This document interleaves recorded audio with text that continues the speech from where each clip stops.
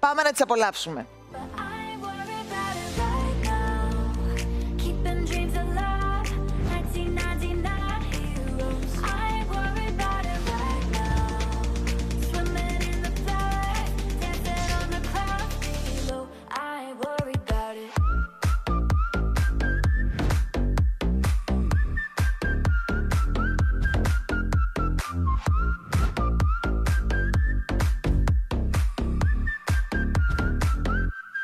Worry about it.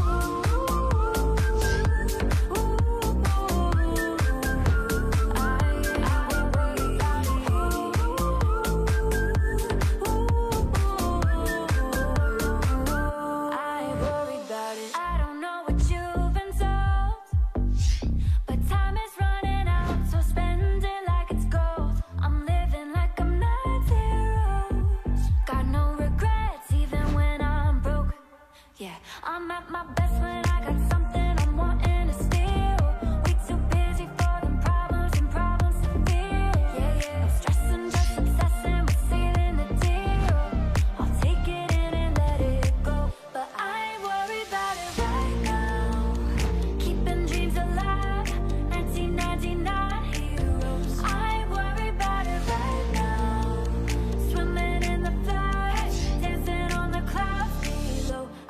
worried about it. Ooh,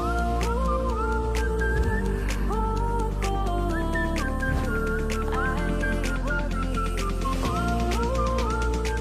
Είναι κομψές, είναι καλοντυμένες, εύχομαι να έχουν καταφέρει έτσι να δέσουν σωστά και το στυλ τους και το concept τους και φυσικά είναι και 8, διότι ήρθε πίσω η Σιμόν. Σιμόν μου τι κάνεις, πώς είσαι; Πάρα πολύ καλά. Πάρα πολύ καλά, τώρα που είσαι εδώ. Βέβαια.